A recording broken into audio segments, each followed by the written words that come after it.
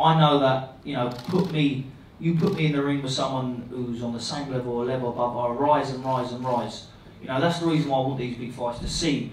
You know, sink or swim. Can I can I raise to where I think I can raise to? Because if I can, then I know I've got the beating of all of them. You know, Callum Smith.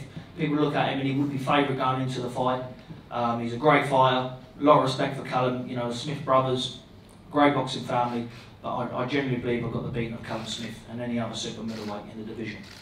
Talking about another, someone that doesn't quite have the resume of Callum Smith or the belts, Chris Eubank Jr. Still a big domestic fight, and I know one that we have talked about in the past, one that still whets the appetite of British fight fans. I know you beat him previously. Uh, yeah, for me, he's he's um, he's a world class bum really because without being disrespectful, if I couldn't beat him, then I'd never put on a pair of gloves again because um, you know his boxing IQ, everything like that. He's fit and strong. That's it. You know, he stepped up against Groves and Groves was you know past it really. You know, he, he retired a fight a fight after.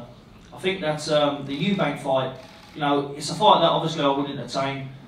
You know, the only gain I'm going to get out of that is financial. Anything else, I'll beat with my eyes closed. Um, I don't really rate him. I don't put him in top. I wouldn't put him in the top five, six in England. Definitely not. Super.